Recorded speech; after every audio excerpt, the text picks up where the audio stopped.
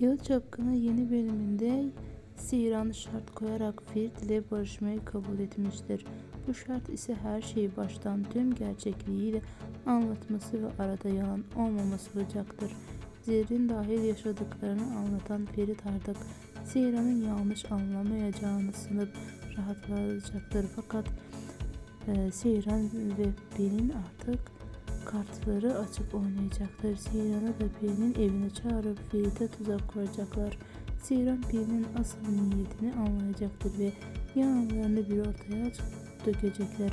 Ferit ise Sihran'a doğruları anlatacaktır. Sihran ve Ferit arasında ayrılık yaşanmayacaktır. Kanalımıza abone olmayı unutmayın. Hoşçakalın.